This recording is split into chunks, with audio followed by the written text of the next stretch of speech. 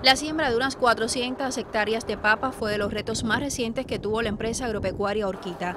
Liderada esa faena por dos unidades empresariales de base y cuatro formas productivas, lograron el compromiso pactado, mientras otros propósitos han cumplido con respecto a la campaña de frío. El tema hortaliza de hoja, el tema tomate, el tema de, los otros cultivos como la vianda. Nosotros tenemos varias industrias, se está trabajando eh, industria de producción de de pulpa y, y, eh, enlatado o en bolsa y se está trabajando en este momento bastante en esa actividad, encurtiendo un grupo de, de hortalizas y no debe tener problema para también darle continuidad a las producciones cuando hacen pico y se puedan estar usando y no se no lleven a, a pérdida a los productores o, o se pierde la producción. Continuar la siembra de cultivos varios en más de 205 mil hectáreas es el encargo estatal de la empresa agropecuaria Orquita, cuyos destinos de ese polo productivo en buena parte garantizan la alimentación del municipio cabecera Cienfuegos y La Habana.